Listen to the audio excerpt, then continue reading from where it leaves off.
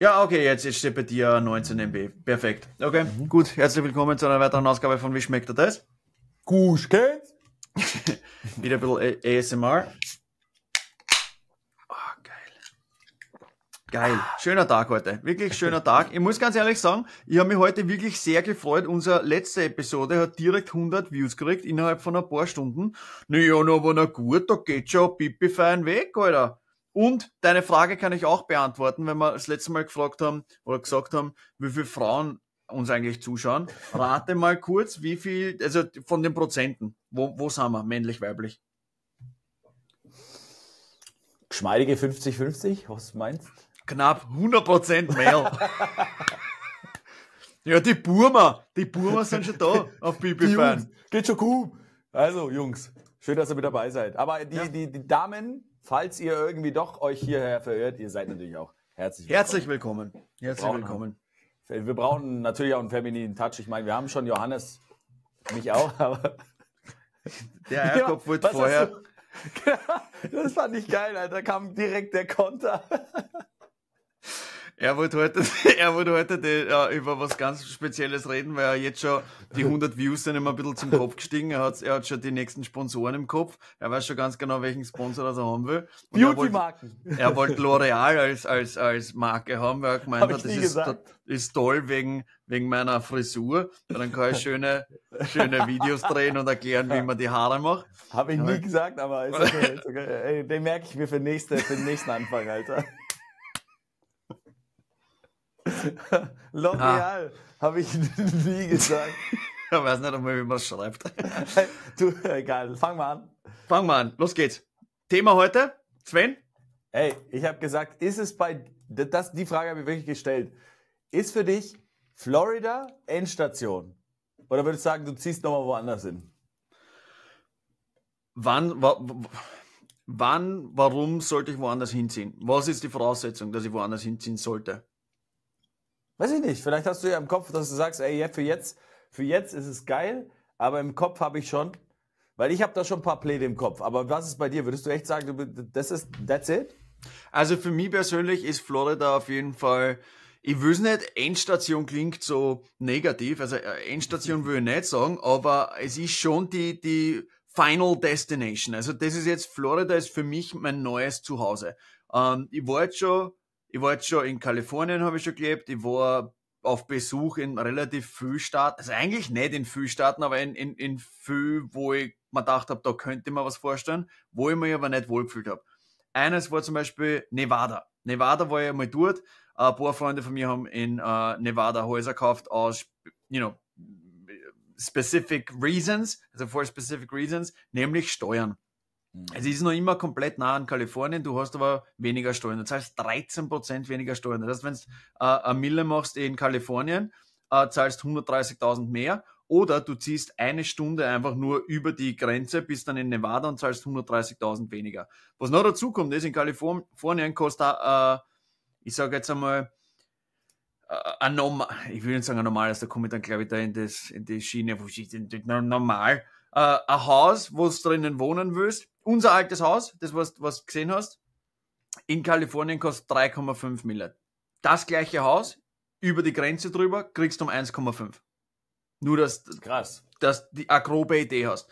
Das, heißt, Krass. du zahlst weniger Steuern drüben und kriegst dafür mehr für dein Geld. Natürlich ziehen dann viele, die jetzt in, noch immer im Schauspiel sind und in, in Hollywood tätig sind, die müssen natürlich nah dort sein. Das heißt, die wollen dann in Nevada wohnen und dann fahren sie, weiß ich nicht, erstens können sie rüberfliegen in einer Stunde, nicht einmal eine Stunde, ja. weniger, glaube ich, eine halbe Stunde rüberfliegen und bist gleich direkt in Burbank. Oder du fährst drei Stunden mit dem Auto und bist auch wieder in Hollywood. Mhm. Aber für mich persönlich, Florida macht einfach am meisten Sinn. Es ist äh, nicht nur, dass wir da Familie haben, also von der Amanda, ihre komplette Family wohnt da, ihre zwei Schwestern, die, die Mom, ihr Papa. Äh, meine Mom wird eh jetzt dann bald zu uns herziehen, also das ist ja, das ist ja mein Ziel. Ähm, Florida ist einfach geil, direkt am Wasser. Natürlich viel sagen, ja, der Hurricanes. Wenn du irgendwo anders bist, hast du halt irgendwas anderes, hast Erdbeben oder hast, weiß ich nicht, andere Probleme. In jedem äh, Staat, in jedem Land gibt's spezielle Probleme. Und das ist halt da das Problem. Wenn du dich aber darauf vorbereitest, ein Haus kaufst, das was ein CBS-Struction ist, äh, du hast ein geiles Dachel drauf, du machst sicher, dass du auf einer, einer hohen Elevation bist, dann hast du kein Problem. sicher, natürlich. Also wenn Gott die nicht mehr will und sagt erst, oder wenn Gott dich schneller, ja. schneller haben will bei ihm, dann, dann holt er die. Aber wenn du gut vorbereitest, wird eigentlich alles, alles gut sein. Also für mich, ja, Florida. Was bei dir? Also, Miami auf jeden Fall. Also, dass, dass wir da ein bisschen mehr Action auch zusammen machen können. Mhm. Das auf jeden Fall steht fest auf der Liste, steht wieder hier oben auf dem Vision Board safe. Ja. Aber ich muss auch sagen, ich hätte gern, ich hätte es schon gern so, dass ich so ein paar Häusle verteilt überall hätte. Häusle und damit meine ich schon ein paar so, ja, gut, ne? Also schon, also das klingt jetzt schon blöd, aber schon ein paar Multimillionen Häusle werden schon, paar, schon gut verteilt auf der ganzen Welt. Lass mich, lass mich, okay, gut, hey, ich, ich mache jetzt nicht deinen dein Traum runter, wenn ja, das dein Traum ist, geil. Ja, dann lass, dann um, lass es halt auch.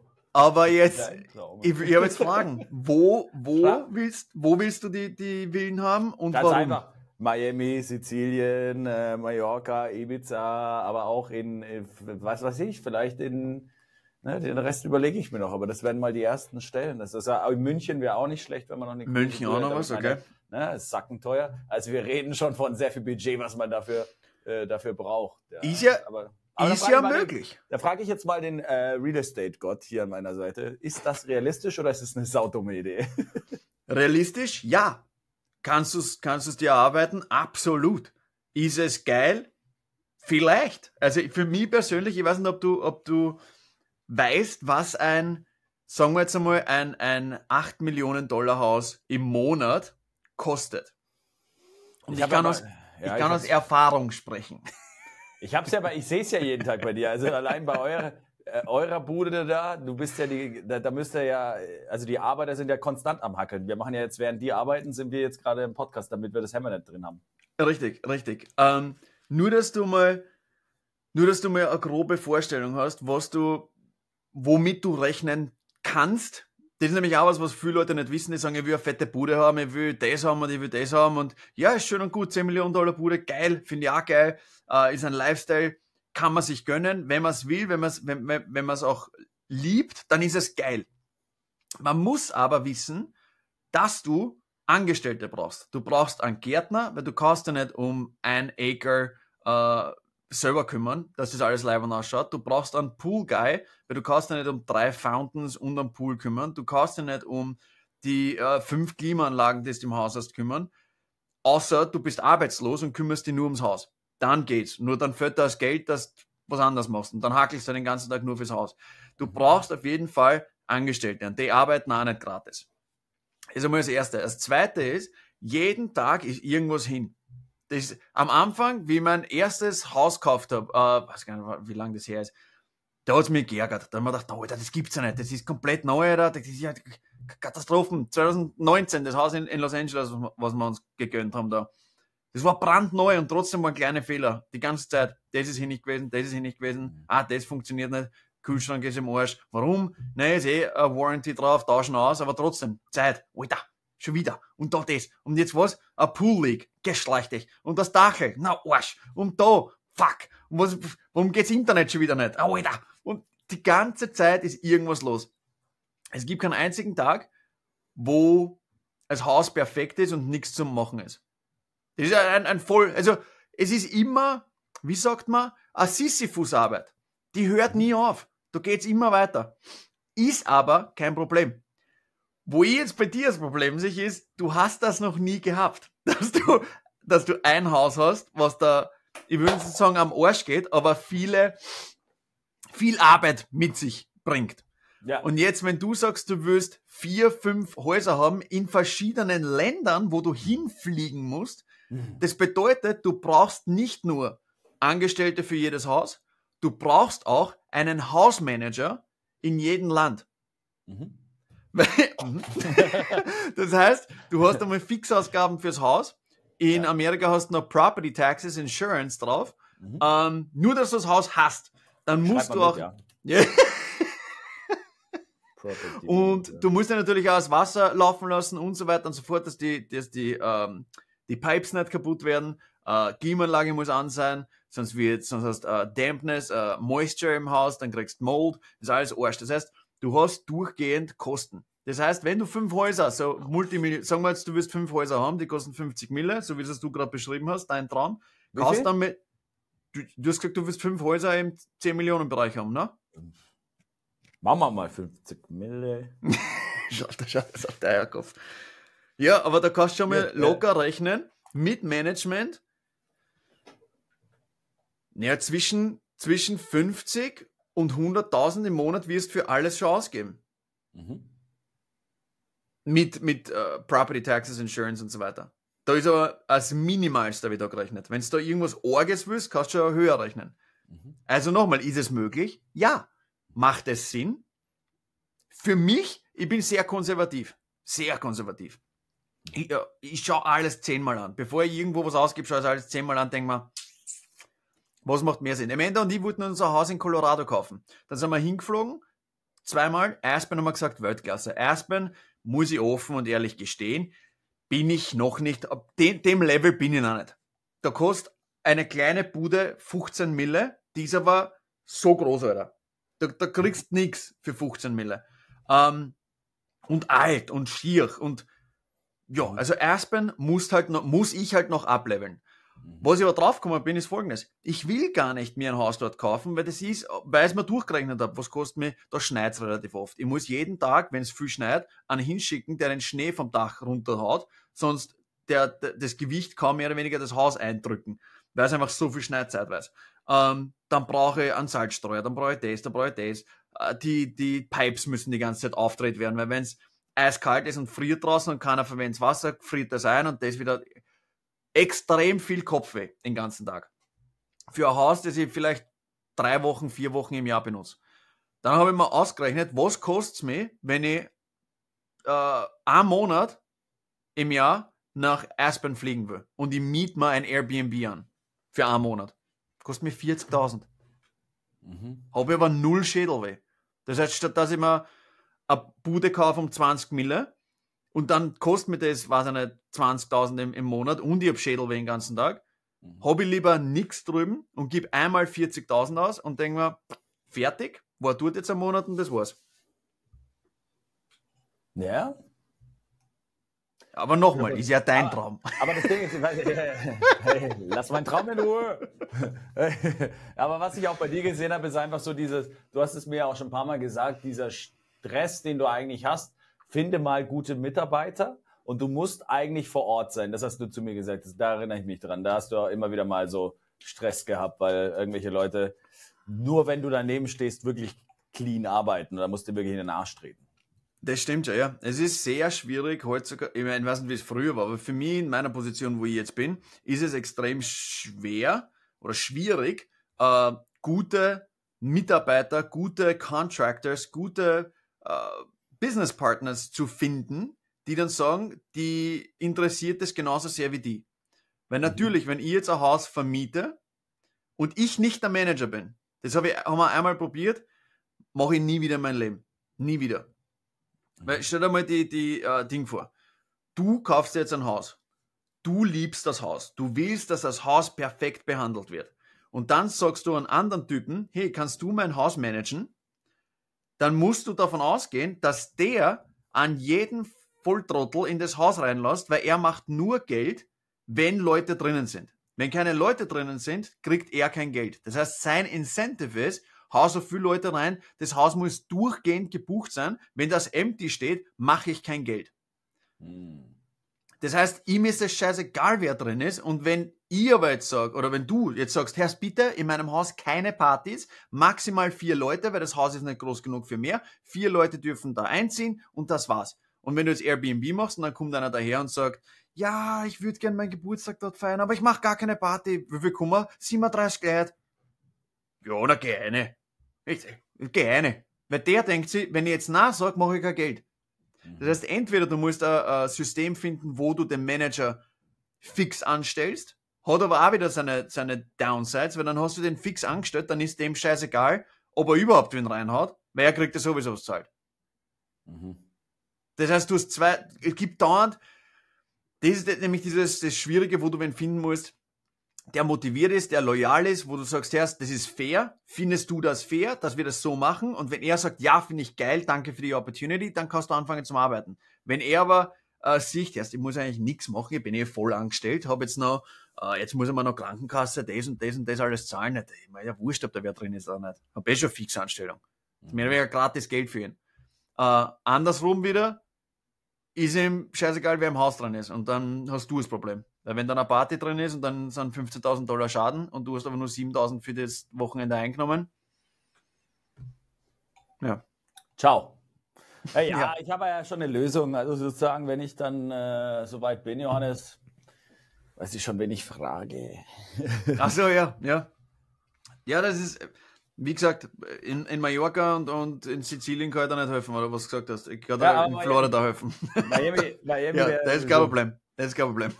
Da, da, da, da komme ich auf dich zu, Johannes, sagst, ist das ein geschissenes Haus oder ist das super? Wir haben ja dieses eine, als ich da war, haben wir so ein, das eine Traumhaus von mir haben wir ja schon mal angeschaut. Das ist schon, schon. Für wie viel ist das weggegangen nochmal jetzt? Uh, ich glaube 15,9. 1000? Was, 15, 15 16 Millionen? 15.000 Euro? Gut, Mama. 16 Millionen. das ich glaube, der, glaub, der ist betrunken heute, der junge Mann. Nee, Ah, nee, aber das war, das war wirklich na, äh, Spaß beiseite, aber das war wirklich, das war genau in meinem Stil, dieses neumodische.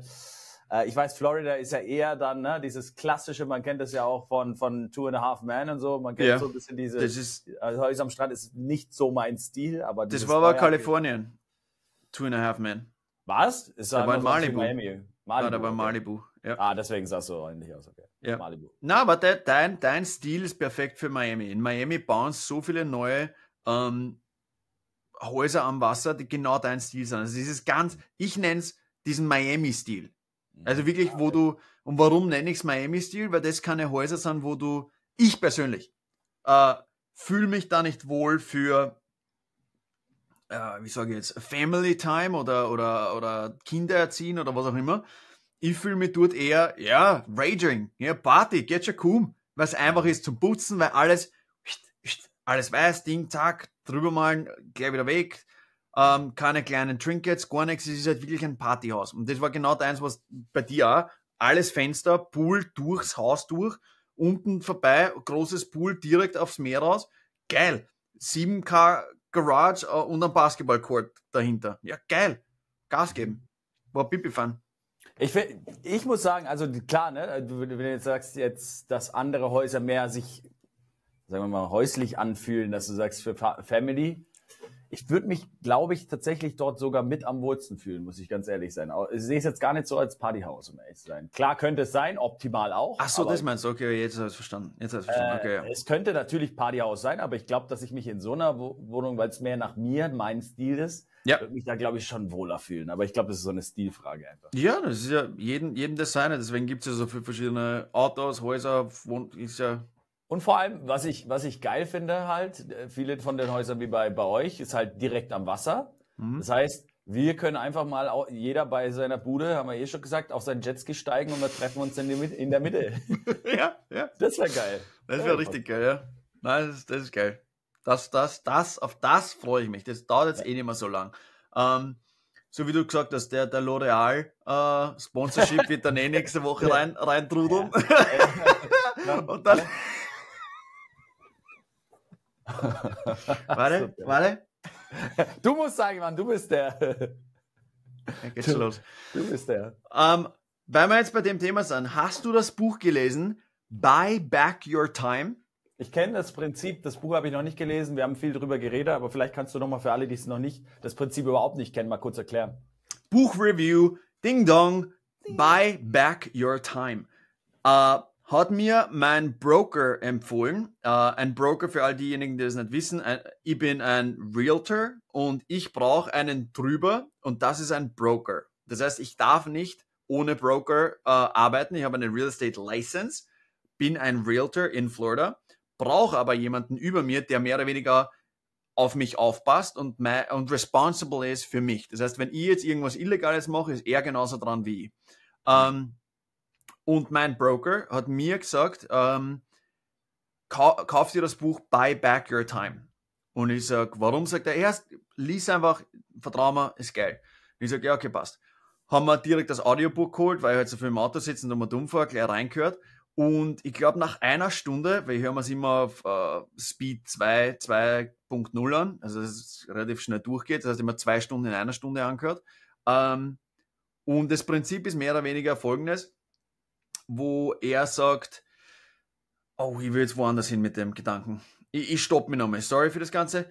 Das Buch im Auto angehört, geil, heimkommen und Laundry gemacht. Heimkommen, Kopfhörer auf und Wäsche zusammengelegt und mhm. höre das an und er beginnt halt so und sagt, okay, buy back your time. Warum ist es so wichtig? Weil wenn du dir, äh, in, e, egal welchen Business du bist, wenn du weißt, dein Stundenlohn ist 100 Euro die Stunde und du machst halt irgendwas, also du musst es halt ausrechnen, grob, was verdiene ich im Monat, auf die Stunden, die ich am Tag äh, arbeite, rechne ich mir das durch. Okay, passt, meine Stunde ist wert 100 Dollar oder 100 Euro im Moment. Und dann schau mal, kann ich andere Sachen, wie zum Beispiel Laundry, während ich Laundry mache, höre ich im Kopf, sagt er, wie ich draufgekommen bin, bin ich bei mir in meinem Laundry Room äh, gestanden und habe Laundry zusammengelegt. Und dann bin ich draufgekommen, dass ich gerade 100 Euro verscheiße oder 100 Euro nicht gemacht habe, weil ich Laundry gemacht habe. Ähm, dann währenddessen hat er im Internet nachgeschaut, ob er wen finden kann, der für 25 Dollar die Stunde vielleicht seine Laundry zusammenlegt und er hat sofort wen gefunden.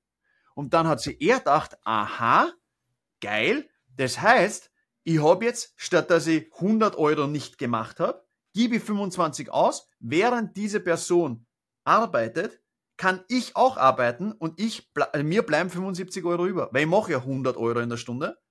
Mhm. Bleiben wir 75 da. Hast du mehr Geld gemacht mit deinem Beruf, den du liebst und hast andere Sachen outgesourced. Andere Sachen, die nicht wichtig, also ich will nicht sagen nicht wichtig, die, die dir Zeit stehlen, um äh, mehr Geld zu machen. Mhm. Deswegen buy back your time. Und wie ich das gehört habe und da drin gestanden bin und selber Laundry gemacht habe, habe ich mir gedacht, ich bin eigentlich ein Trottel. ich hätte jetzt, ich hätte jetzt in den eineinhalb Stunden, wo ich da Laundry zusammenlege, hätte ich schon wieder meine drei, vier Kunden anrufen können, hätte schon wieder äh, schauen können, ob ich vielleicht ein neues Haus finde. Hätte schon wieder mehr machen können und ein Haus verkaufen kann man, weiß ich nicht, am Monat an Laundry zusammenlegen äh, finanzieren. Mhm. Auf ganz depper gesprochen. Und da habe ich mir dann gedacht, ganz ehrlich, ja, muss ich jetzt machen. Zuerst bin ich mir blöd vorgekommen, weil ich mir gedacht habe, na, Herr, das, das, na, ich mache das schon selber. Nein, ich brauche das braucht er nicht. Bis ich draufgekommen bin, es ist nicht überheblich oder es ist, weil ich habe sofort im Kopf gehabt, na, es ist überheblich, jetzt wenn Kauf, äh, jemandem eine Arbeit geben, dass der für mich die Wäsche zusammenlässt. Na, so, so wichtig bin ich auch nicht. Bis ich draufgekommen bin, das hat mit mir gar nichts zu tun. Es ist ja. gut für beide Parteien. Ein anderer Mensch verdient Geld. Der, ich, ich helfe jemand anderen, also hilf jemand anderen Geld zu verdienen. Mhm. Und ich mache mehr Geld. Und dann kann ich wieder einen anderen anstellen, der noch mehr Geld kriegt dann damit er einen Garten macht zum Beispiel oder irgendwas anderes macht. Weil wenn du alles selber machst, verdient keiner was und du aber auch nicht. Du kommst und, halt nicht vorwärts, ne? Ja, aber, aber hör dir das nochmal an. Wenn du alles selber machst, verdient keiner Geld. Mhm. Wenn du aber selber arbeitest und outsourcest, verdient jeder Geld. Jeder ja. macht mit dir mehr Geld. Und das da hat es dann einen Switch gemacht. Dann haben wir gedacht, Alter, ich will noch mehr arbeiten, damit ich noch mehr outsourcen kann. Dann kann ich nicht nur mehr Leute anstellen. Denen geht's gut, weil die haben einen bombastischen äh, Arbeitgeber, weil ich einfach immer zahle. So, sobald es fertig ist, zahlt. Ich bin nicht so, naja, jetzt warten wir ein bisschen. Bam, bam, bam. Geil einfach. Und deswegen, da habe ich dann auch mit dir geredet, wo ich gesagt habe, erst Sachen, die du outsourcen kannst, fang sofort an, das outzusourcen. Zum Beispiel in deinem Fall äh, editen, schneiden. Kaufst genau du wen? Ja. Genau, das, genau das haben wir ja gemacht, also für dieses neue Agency-Business, wo wir kurz Video-Production machen für Investoren oder andere, andere Kunden. Äh, da machen wir genau das. Ich habe einen Videografen dabei, der schneidet alles, äh, produziert alles fertig und dann wird es eingeplant. Und so, wenn die Agentur wächst, das ist genau das Prinzip, deswegen ist es auch immer geil, dass wir darüber reden, habe ich auch gleich gesagt, okay, hey, lass es gleich umsetzen und es funktioniert super.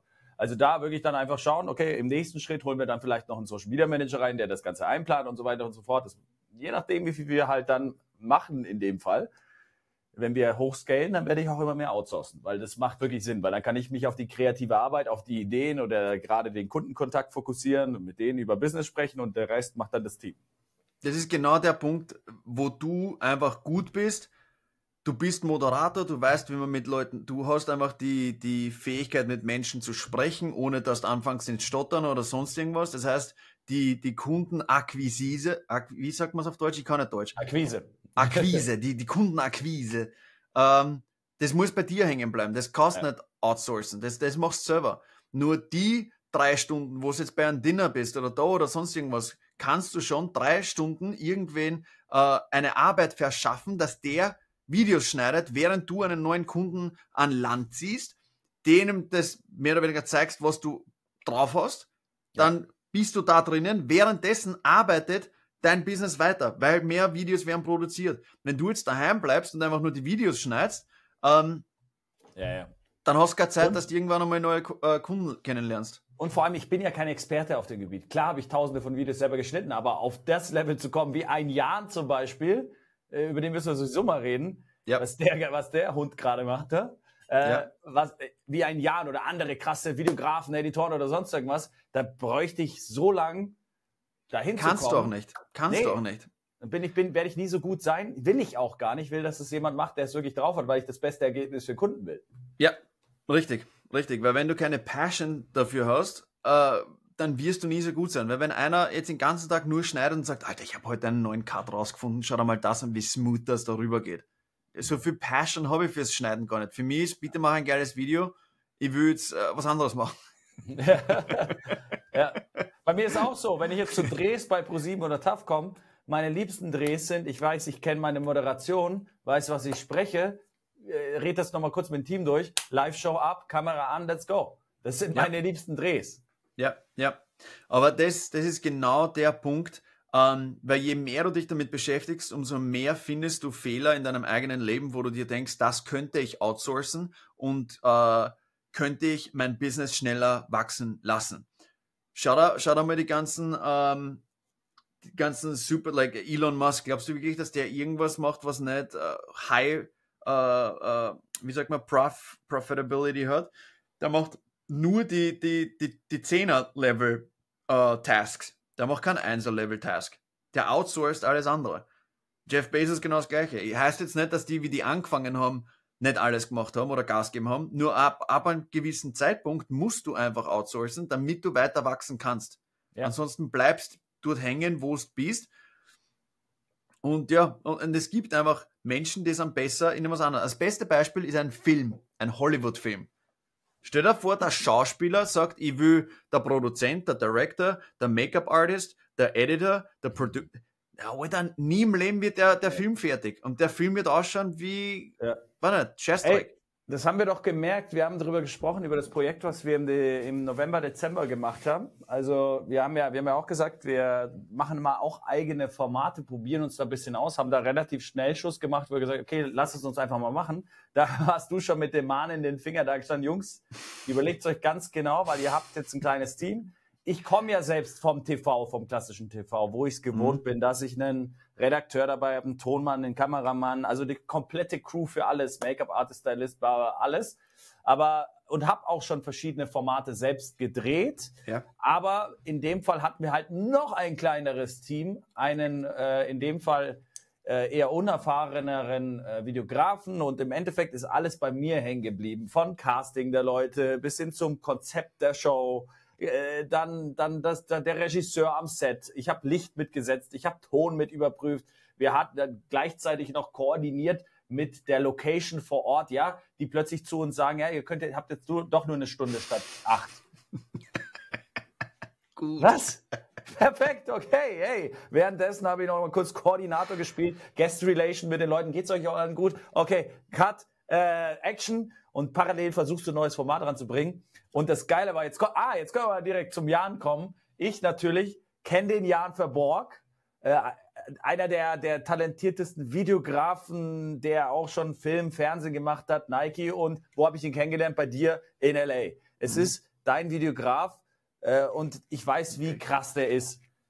Ja, also mein Videograf, er, es war die, die Geschichte, ich glaube, wir holen wirklich einmal in, in, den Podcast rein und dann soll er die Geschichte erzählen, war wirklich ja. äh, eine geile Geschichte, aber er ist einfach, das habe ich an jeden immer gesagt, er ist einfach ein Gott, wenn es um Cinematography und Editing kommt. Äh, wie wir, wie ich mit ihm gearbeitet habe, wir waren ein Zweierteam. Ich war vor der Kamera, er war hinter der Kamera und ich habe gesehen, was er so drauf gehabt hat und ich habe gesagt, weißt du was, ich vertraue dir blind, ich sag da jetzt nicht, nimm den Engel, nimm den Engel, mach was du willst und schau mal, was rauskommt.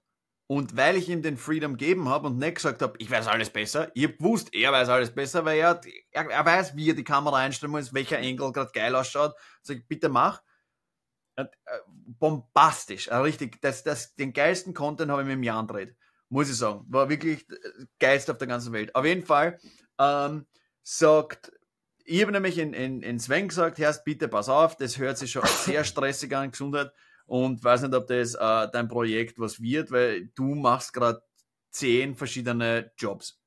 Du machst gerade zehn verschiedene Sachen.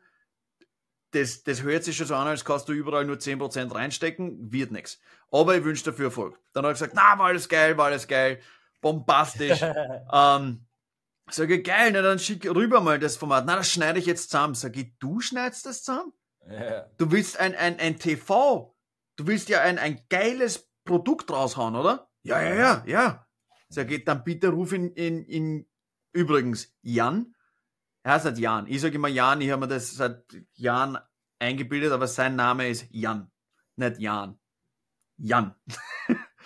Dass man das jetzt gleich. Ich habe dir jetzt auch gleich wieder Jahren gesagt. Ich richtig stellen. Ja, weil ich, weil ich das falsch gesagt habe, schon seit tausend Jahren. Nur, dass wir es jetzt einmal richtig stellen. Ähm, und äh, sage, bitte ruf ihn an und zahle ihm einfach was, was, was auch immer. Er ist einfach der Beste, er wird da was Geiles zusammenschneiden. Und was hat er zu dir gesagt, nachdem er sich den, den, den Footage angeschaut hat? Ich mach's mal original nach. Ich krieg so einen Anruf. Ich so, ja? Ja, wie geht's dir? Alles gut? Äh, und er dann so zu mir,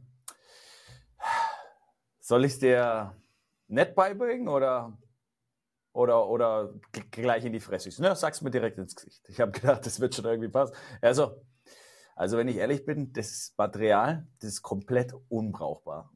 also, unbrauchbar, das ist genau also, sein Wort, unbrauchbar. Kann, wenn du mich ehrlich fragst, ich würde es wegschmeißen. Alles. Drei, wir haben drei Drehtage gehabt, er hat gesagt, schmeiß alles weg. Das bringt gar nichts.